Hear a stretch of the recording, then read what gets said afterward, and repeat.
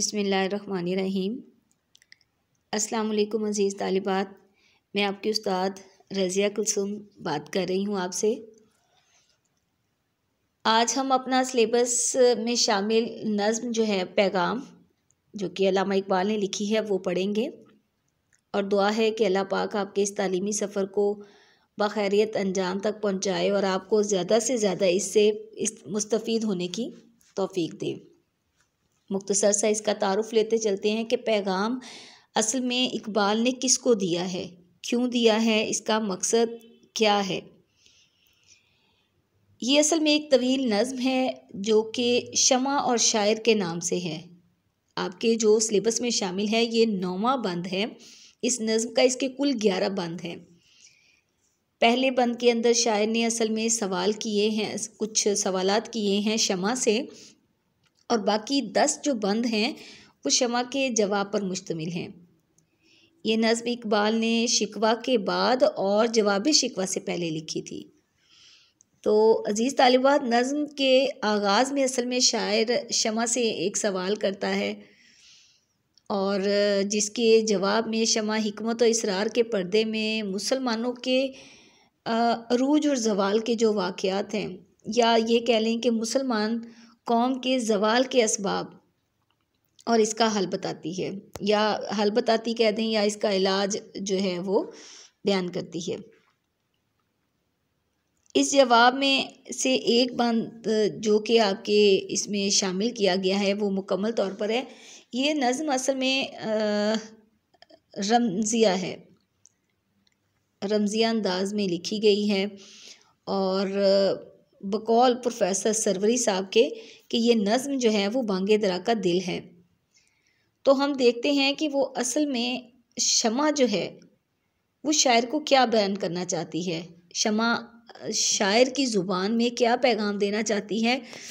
और उसके तख्लीक के मकसद को, यानी कि इंसान के तख्लीक के मकसद को एक शमा किस तरह से बयान करती है?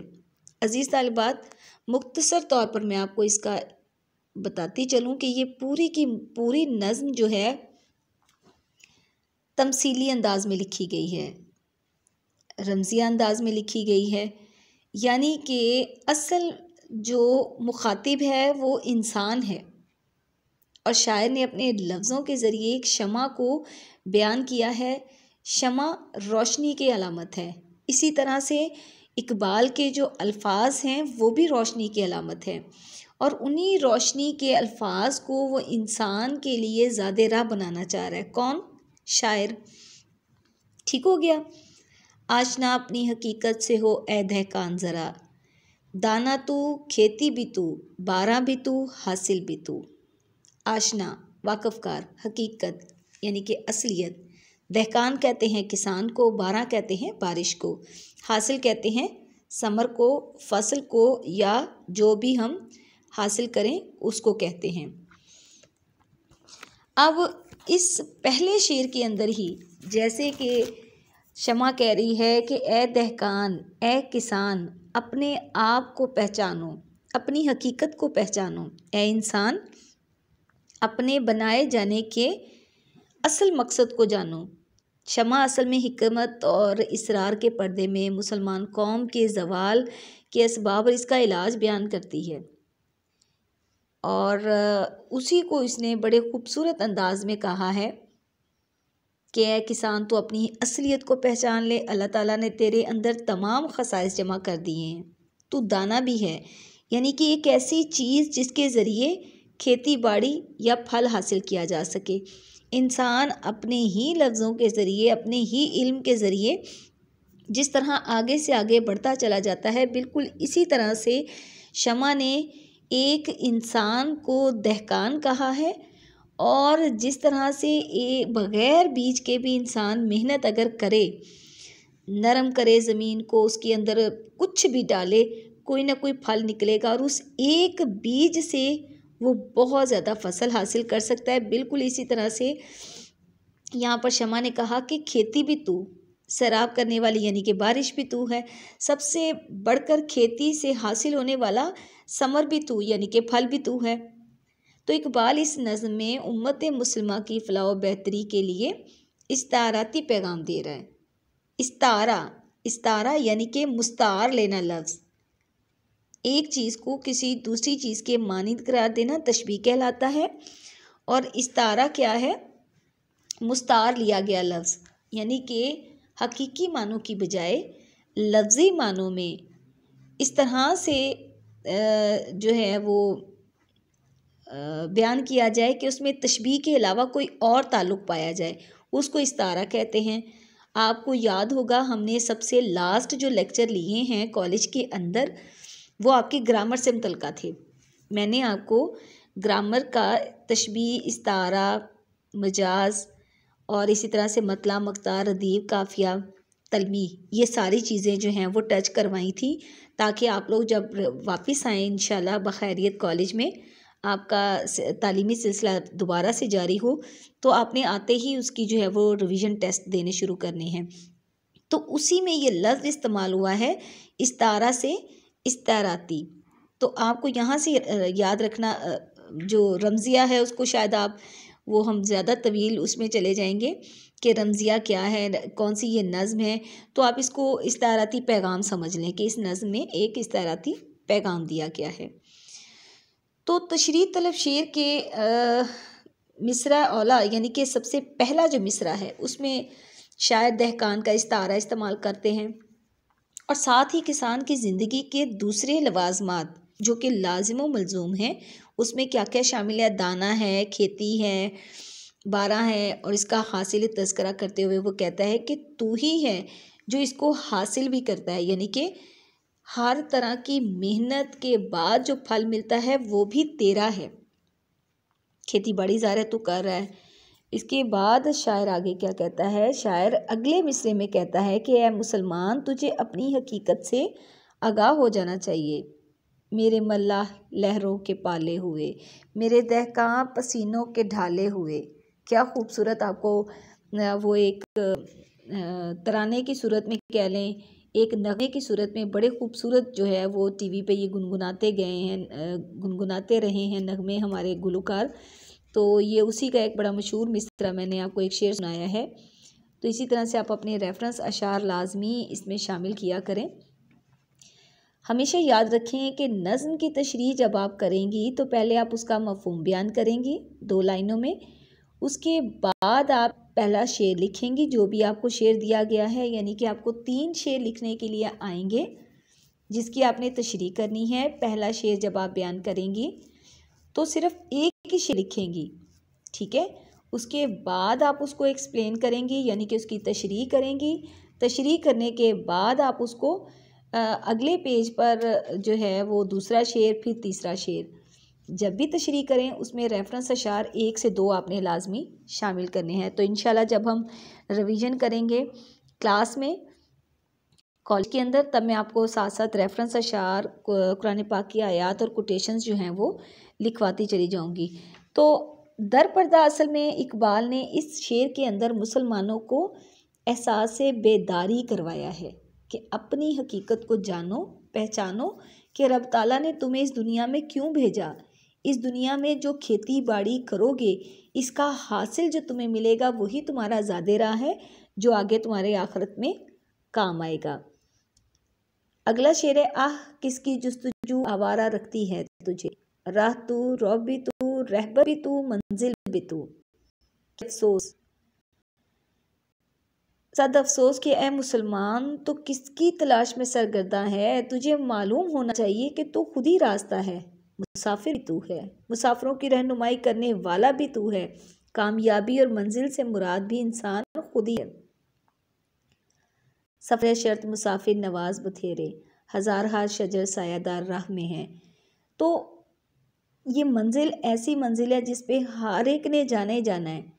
तो अफसोस का इजहार करते हुए शायर कहता है कि वो मुसलमान एक ऐसा मुसाफिर है जिसने आखरत का सफ़र करना ही करना है।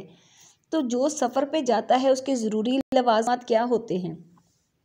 रास्ता देखना या रास्ता मुतन करना या रास्ते का होना या रास्ते की रहनुमाई करने वाले या खुद रहबर बन जाना तो यहाँ पर शायर असल में क्या कह रहा है मुसलमान को कि ए मुसलमान, तुझे क्या हो गया है? तो किस डगर पर चलने लगा है? तूने किस रास्ते का इंतखब कर लिया है? तो ज़िंदगी की कैसी शारक पर चलने लगा है और किसके पीछे आ गया है? अज़ीज़ तालिबात में इकबाल ने एक मुसाफिर के रूप में मुसलमानों को हकीकत से आगाह किया है। कि तुम्हारा उठना, बैठना, चलना, फिरना, खाना पीना, गर्ज तमाम आदात, अपने असलाफ, यानी कि अबाव अजदाद, के तरीके से हट गई हैं। आज तुम ऐसे अफराद को अपने लिए नमूना अमल जानते हो, जो रास्ते से गुमराह हो चुके और जिनका अल्लाह का, जिन पर अल्लाह का गज़ब नाजिल हुआ। लेकिन आज मुसलमान इन्हीं के नक्शे कदम पर चलना तरक्की ख्याल करता है। मोमिन की ये शान नहीं है। हर लहजा है मोमिन की नई शान, नई आन। गुफ्तार में, किरदार में अल्लाह के बुरहान।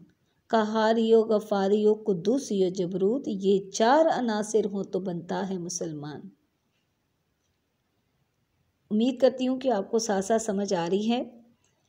तो शायर ने उन्हीं असलाफ का ज़िक्र किया है। इस शेर के अंदर मुसलमानों को मुखातिब करते हुए कहा कि वो ज़माने में मुआज़ थे मुसलमान होकर। तुम ख्वार हुए तारिक कुरान होकर। कुरान पाक ने हमें जो तालीमत दी, हमें जो उठने, बैठने, सोने, जागने के तरीके बताए, हमने उनको पस, पसे पुश्त डाल दिया।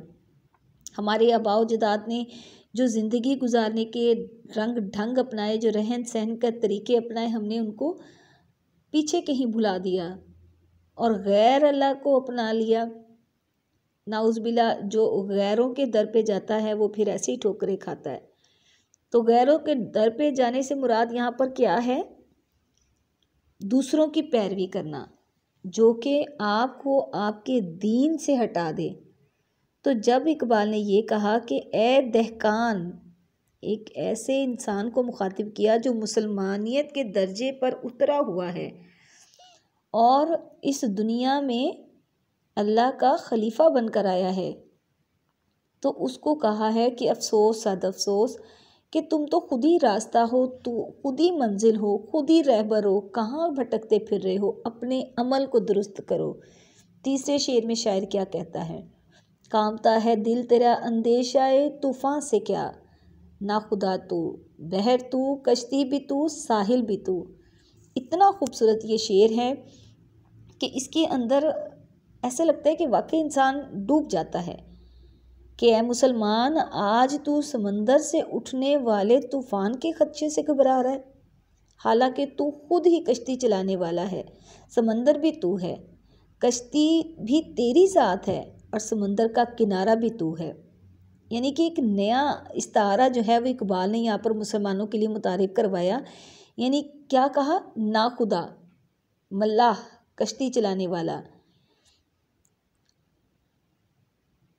इसके साथ ही मुसलमानों को मुखातिब करते हुए उन्होंने पेशा वराना ज़रूरत की तीन चीज़ों का ज़िक्र किया है। पहला, बहर, यानी समंदर या दरिया के लें इसको। दूसरा, कश्ती, यानी वो ज़रिया जिसके ज़रिए हम समंदर या दरिया का सफ़र करते हैं। और तीसरा, साहिल, यानी दरिया या समंदर का किनारा। तो अज़ीज़ तालिबात, इसमें समझने के लिए पीछे रह नहीं गया। अगर गौर किया जाए तो पहले मिसरे में इजहार अफसोस कर रहे हैं कि आज वो मुसलमान जिनसे पहाड़ लरस जाते थे, दरियाओं के दिल दहल जाते थे, ज़मीन काम जाती थी, दुश्मन का रंग उड़ जाता था, आज वही मुसलमान तूफ़ान के अंदेशे से घबराया हुआ है। अंदेशा लफ्ज़ जो है ना अज़ीज़ तालिबात ऐसे मतलब ख़तरे के लिए इस्तेमाल किया जाता है जिसने अभी आना हो। अंदेशा, खदशा। यानी कि जो चीज़ अभी होनी हो, आज समंदर बड़ी रवानी से रवा है, लेकिन किसी बदख्वा ने दिल मुस्लिम ने यह खौफ डाल दिया है कि तूफ़ान आने वाला है। यही सुनकर जो है वो मुसलमान जो है वो अपनी असल हकीकत से कहीं पीछे हो गए हैं। शान आँखों में न जचती थी जहाँ दारों की, कलमा पढ़ते थे हम छाँव में तलवारों की। क्या बात है, बहुत ही खूबसूरत। कहता है, ज़माने से ये दरवेश जवां मर्द जाता है, जिधर बंदाए हक तू भी उधर जा। तुंदिए बाद मुखालिफ से ना घबरा ए उकाब, ये तो चलती है तुझे ऊँचा उड़ाने के लिए। शेर तो बहुत है अज़ीज़ तालिबात क्या क्या आपको बताऊँ और क्या क्या आपको लिखवाऊं। तो इन ज़िंदगी बखैर आपको जो है वो वाइट बोर्ड पे करवाएँगे डिटेल के साथ। आगे है जी हमारा चौथा शेर। देख आकर कूचाए चाके गिरबा में कभी। कैस तू, लैला भी तू, सहरा भी तू, महमल भी तू। बहुत ही खूबसूरत। कूचा कहते हैं गली को, चाके गिरबा कहते हैं फटा हुआ गिरबान। कैस, मजनू, बनियामर कबीले का जो है वो ये शख्स था, जो कि लैला के इश्क में मुबतला हुआ, सुनने में, कहने में यानी कि हमारी जो दास्तानें हैं, उसमें इसी तरह से ज़िक्र आया है। महमल कहते हैं कजावा, जो कि ऊँट के ऊपर बैठने की जगह होती है। उसको जो है वो कजावा बोलते हैं। सहरा कहते हैं दश को, दश्त, ठीक है? यहाँ पर फिर मुखातिब जो है वो एक मुसलमान है कि अपने गिरबान के अंदर झांको, तुझे मालूम हो जाएगा कि तू ही मजनू है। तेरा जनून तेरे अपने अंदर है। तेरा इश्क, यानी कि लैला की सूरत में, चाहे वो दुनियावी हो, चाहे कोई भी हो, वो इश्क तेरे अपने अंदर है। तो तुम्हें किसी सहरा की, किसी लैला की, किसी कजावे की ज़रूरत नहीं है। असल में यहाँ पर शायर मजाज के पर्दे में हमें हकीकत का दर्स दे रहा है। मजाज क्या है? और हकीकत क्या है? मजाज जो ना हो, हकीकत जो हो, जिसे हम कहते हैं कि इश्क हकीकी, अल्लाह तबारक वाली और उसके महबूब का इश्क और इश्क मजाजी, यानी कि दुनियावी इश्क। इसमें बहुत सारी कैटेगरीज आ जाती हैं। माँ बाप बहन भाइयों का इश्क, दोस्त, अहबाब का इश्क, उस्ताद शागिद बहुत सारी कैटेगरीज, यानी कि दुनियावी मोहब्बत जो है चाहे वो इंसानों से, परिंदों से, जानवरों से, पौधों से, जिससे भी हो, वो मजाजी में आ जाएगी। हकीकत, यानी कि अल्लाह तबारक वाली और नबी करीम सल्लल्लाहु अलैहि वसल्लम की ज़ात मुबारक। तो मुसलमानों को गौर व फ़िक्र की दावत दे रहे हैं असल में कि ए मुसलमान अपनी ज़ात में गौर व फ़िक्र कर के तेरा मुकाम आशिकों में सबसे ऊँचा है। क्या क्या आशिक हमारे दीन इस्लाम के ऊपर मर मिटे? तो यहाँ पर जो कैस का लफ्ज़ इस्तेमाल हुआ है, ये असल में इस्तारा है। मर्द मोमिन है। पीछे कौन है? मर्द मोमिन। कैस नहीं है, मर्द मोमिन है। एक ऐसा मर्द मोमिन जिसकी हर शान नई और निराली होती है। दयार इश्क में अपना मुकाम पैदा कर, नया ज़माना, नए सुबह शाम पैदा कर। कभी यह नौजवान मुस्लिम तदब्बर भी किया तूने, वो क्या गर्दू था? तो जिसका एक टूटा हुआ तारा। इसमें शायद आखिरी मिसरे में कुछ आ, मुझे अब याद नहीं आ रहा कुछ गड़बड़ है मेरे से हुई। आप इसको जो है उसमें इकबाल की नौजवान से खिताब उसमें देख लीजिएगा कंफर्म हो जाएगा ठीक है? तो वो आप इसमें रेफरेंस शेयर जो है वो पिछली नज़म का डाल सकते हैं। तो यहाँ पर असल में वो क्या कहना चाह रहा है शायर? कि तुझे मालूम हो जाएगा कि कैस के जज्बात तेरे अंदर मौजूद हैं। तेरी लैला यानी दुनिया पर हुक्मरानी भी तेरे सामने खड़ी है। तेरे पास कुत इश्क भी मौजूद है तो इसके ज़ोर से दुनिया पर छा सकता है। असल में इकबाल ने जज्बा इश्क को ज़िंदगी करार दिया है। जो अज़ीज़ तालिबात इस पूरे शेर के अंदर जो जान है ना इस बात की, वो यही है कि इकबाल ने असल में जज्बा इश्क को ज़िंदगी करार दिया है। और इश्क के नापैदार होने को नाकामी करार दिया है। यानी कि इश्क जो है, वो नापैद है और उसके नापैद होने को यहाँ पर नाकामी करार दिया है। बुझी इश्क की आग अंधेर है, मुसलमान नहीं, राख का ढेर है। तो दूसरे मिसरे के अंदर मर्द मोमिन मुखातिब है। कि खुदा ने तुझे सब कुछ अता कर दिया, तेरी मोहब्बत भी तुझे दे दी, यानी कि तुझे वसी और इस कायनात अदा कर दी, तुझे सवारी भी मैसर कर दी, तुझे इसमें रहते हुए भी किसी किस्म की मुश्किल और परेशानी का सामना ना हो, इसलिए दियारे इश्क में अपना मुकाम पैदा करो और पल पल गौर करो। जब तू गौर करेगा तो तुझे बड़ी हकीकत से आगाही होगी। तो यहाँ पर असल में मुसलमान मर्द मोमिन मुखातिब हैं। कि इश्क तेरी अपनी ज़ात के अंदर है। पूरी दुनिया तू तस्खीर कर सकता है। हर चीज़ तेरे अपने इख्तियार में है। पांचवा शेर है, वाए नादानी के तू मोहताज साकी हो गया। मैं भी तू, मीना भी तू, साकी भी तू, महफिल भी तू। के वाए अफसोस। नादानी बेवकूफ़ी, मोहताज मजबूर। मैं शराब। मीना कहते हैं सराही को और साकी कहते हैं शराब तकसीम करने वाले को। और महफिल, शराब पीने वाले लोगों की जमात जहाँ पर इकट्ठी होती है, उसको महफिल कहेंगे। अब जहाँ पर शराब और साकी का ज़िक्र आएगा तो महफिल से मुराद शराबियों की महफिल या शराब पीने वालों की महफिल होगी। और जहाँ पर अल्लाह वालों का ज़िक्र आएगा तो वो नुरानी पाक अलिया अल्लाह या सूफिया कराम की महफिल कहलाएगी, यानी कि हकीकत पर मबनी। तो यहाँ पर अफसोस का इजहार करते हुए शायर कहता है कि मुझे तेरी नादानी पर बेहद अफसोस है। तेरी नादानी पर कि आज तो गैर का मोहताज हो गया। हालाँकि हकीकत में तो खुद ऐसी शराब की सी मस्ती रखता है अपनी ज़ात के अंदर। तुझे किसी किस्म की ज़ाहरी शराब की ज़रूरत नहीं है। ना किसी शराब पिलाने वाले की ज़रूरत है, ना कोई ऐसी महफिल की ज़रूरत है जहाँ पर शराब का अहतमाम किया जाए। तेरी अपनी ही ज़ात असल में तुझे मस्त कर सकती है। अब यहाँ पर शायर ने उम्मत मुसलमा के नौजवान को मुखातिब किया है कि मुझे तेरी नादानी पर बड़ा ही अफसोस हो रहा है कि तू मुख्तार होकर मोहताज हुआ फिरता है। मोहताज भी ऐसे लोगों का जिन्हें चलना और जीना तूने सिखाया, जिन्होंने, जिन्हें तूने ज़िंदगी गुजारने का तक करीना दिया, आज तो इनके ज़िंदगी के उतार चढ़ाव सीख रहा है।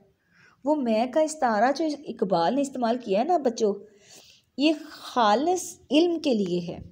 और मीना का इस्तारा क्या है? किताब है। और साकी मौलम है। और महफल क्या है? इस्तारा जमात के लिए है। मेरा नहीं ख्याल कि आपको जो है ना, ये इस तरह की तशरी इसकी कहीं से मिलेगी जल्दी। गौर करने की बात है, क्योंकि हमारे पास होती हैं बहुत सारी बुक्स बहुत जगह से हमने सारी ज़िंदगी पढ़ने पढ़ाने का सिलसिला जारी रहता है। अभी तो इस इल्म के दरिया में कुछ नई नई मैं भी कूदी हूँ, कोई इतना प्यास अभी बुझी नहीं है इल्म की। ये क्षमा ताउम्र जारी रहेगी, जलती रहेगी। तो इस शेर की तशरी आपको जो है ना एक दफ़ा अगर आप इस वाले शेर की तशरी समझ जाएँगी तो आपको पूरी नज़म समझ आ जाएगी कि पूरी नज़म असल में किस हकीकत पर मबनी है। किधर को शायर बात जो है वो लेके जा रहा है, उसका जो बात करने का अंदाज़ है वो कितनी गहराई में है। यानी कि मैं दोबारा आपको जो है वो इसी को समझाती हूँ कि किस तरह से एक मुसलमान नौजवान को मुखातिब करते हुए शायर ने क्या कहा कि जिन्होंने तुझसे ज़िंदगी गुजारने का करीना सीखा, आज तो ज़िंदगी के उतार चढ़ाव उनसे सीख रहा है। तेरी नादानी पर सद अफसोस है। आज तो इल्म के सिलसिले में गैरों का मोहताज हो गया। कभी वो तेरे मदरसों में आकर इल्म हासिल करना एजाज़ जानते थे। आज तो मगरबी अदारों में पढ़ना बायस फ़ख्र जानता है। आज तो ज़िंदगी असल में ना, इसके अंदर जो मैं है, वो खालिस इस्तारा इस्तेमाल हुआ है इल्म के लिए। ऊपर बेशक आप अपनी किताब के ऊपर ना मैं को ब्रैकेट के अंदर लिखें, इल्म के लिए इस इस्तारा है। और मीना जो है, ये किताब के लिए इस्तारा है। इसी तरह से लफ्ज़ जो साकी इस्तेमाल हुआ है, ये मौलम के लिए है। साकी कौन है? शराब पिलाने वाला। तो मौलम कौन है? इल्म देने वाला। तो इससे मुराद ये है कि वो साकी का लफ्ज़ इस्तेमाल कर रहे हैं मौलम के लिए। इसी तरह से महफिल क्या है? महफिल इस इस्तारा है जमात के लिए। तो मेरा नहीं ख्याल कि इसके बाद आपको मज़ीद इसको खोल के बयान करने की ज़रूरत है। बड़ी खूबसूरती में शायर क्या कहता है? वाए नादानी कि तू मोहताज साकी हो गया। मैं भी तू, मीना भी तू, साकी भी तू, महफिल भी तू। कि तू शराब पिलाने वाले का मोहताज हो गया। जबकि तू खुद शराब है तो खुद ही मीना है तो खुद ही साकी है तो खुद ही महफिल है। उम्मीद करती हूँ कि आपको यहाँ तक जो है वो बड़े अच्छे तरीके से समझ आ गया होगा। बाकी इंशाल्लाह जो है वो हम अगले लेक्चर में पढ़ते हैं। तब तक के लिए अल्लाह हाफिज़।